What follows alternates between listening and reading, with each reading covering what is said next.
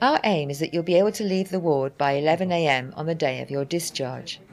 Before you can go home, you'll need to have your medication, a copy of our letter to your GP, and details of any other professionals you'll be seeing, for example, a district nurse or a therapist.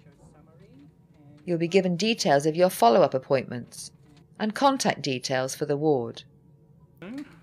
If you have any concerns about your progress during the first few weeks at home, please do call us at any time. We'll ask you to wait in the discharge lounge if for any reason you can't go home before 11am. For example, your medications may not be ready, or your relatives may not be able to collect you until later.